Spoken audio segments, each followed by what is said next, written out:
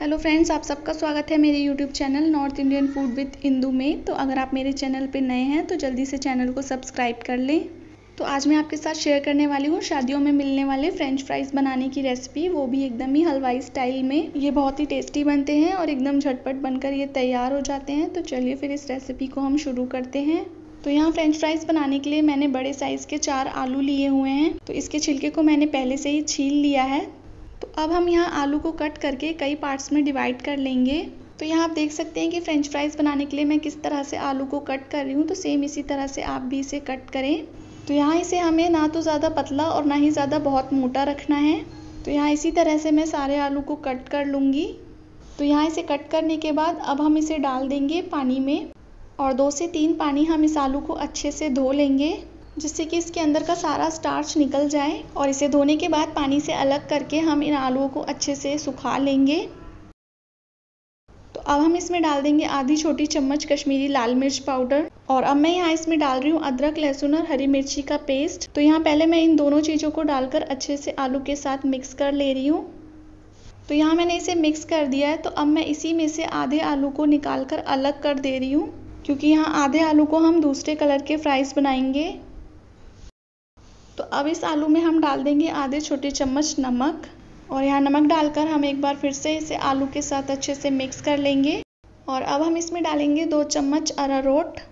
इसे डालने से आलू का ये सारा मॉइस्चर एब्जॉर्ब कर लेगा। तो इसे हम मिक्स करते हुए आलू के साथ अच्छे से कोट कर देंगे। तो यहाँ हमारे आलू अब रेडी हैं फ्राई होने के लिए। तो मैंने यहाँ पहले से ही तेल को रख दिया था गर्म होने के लिए। तो अब थोड़ा थोड़ा करके हम आलू को डालते जाएँगे। और यहाँ इन्हें फ्राई करने के लिए हमें फ्लेम को मीडियम पर ही रखना है। तो यहाँ हमारे आलू फ्राई हो रहे हैं। तो यहाँ हम एक बार बीच में इसे अलट पलट देंगे जिससे कि ये चारों तरफ़ से अच्छे से फ्राई हो जाएँ। तो यहाँ हमारे आलू अच्छे से फ्राई हो चुके हैं और ये अंदर से भी एकदम पक गए हैं। तो अब हम इसे छान करके अलग निकाल लेंगे। तो यहाँ आप देख सकते हैं कि कितने क्रिस्पी फ्रेंच फ्राइज़ बनकर हमारे तैयार हुए हैं। अब मैं यहाँ इसे निकाल दे रही हूँ एक पेपर पे, जिससे कि इसमें से जो एक्स्ट्रा ऑयल है वो निकल जाए। तो अब यहाँ जो हमने आधी आलू बचा करके रखी थी, उसे ले लेंगे और उसमें भी डाल देंगे आधी छोटी चम्मच नमक। और यहाँ नमक को डाल के मिक्स करने के बाद इसमें भी हम डाल देंगे दो चम्मच अरारोट। और अरारोट को भी हम डाल कर अच्छे से कोट कर लेंगे आलू के साथ। और अब मैं यहाँ इसमें डाल दे रही हूँ बस ज़रा सा ऑरेंज फ़ूड कलर इसे भी हम आलू के साथ अच्छे से कोट कर लेंगे और ये भी अब फ्राई करने के लिए रेडी है। तो इसे भी थोड़ा थोड़ा करके मैं यहाँ पर तेल में डाल दूँगी। और इसे भी हम मीडियम फ्लेम पर फ्राई कर लेंगे। तो यहाँ फ्लेम को हमें बिल्कुल भी हाई पर नहीं रखना है।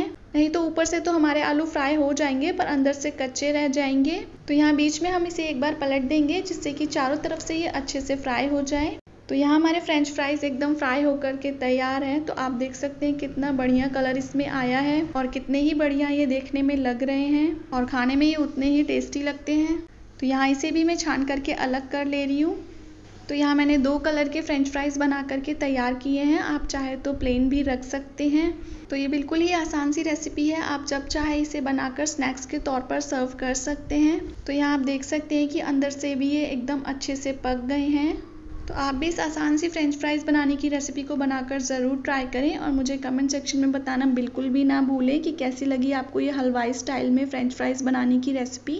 और अगर आपको आज की रेसिपी पसंद आई हो तो प्लीज़ मेरे चैनल को ज़्यादा से ज़्यादा लाइक करें शेयर करें एंड सब्सक्राइब करें और बेल आइकन दबाना बिल्कुल भी ना भूलें।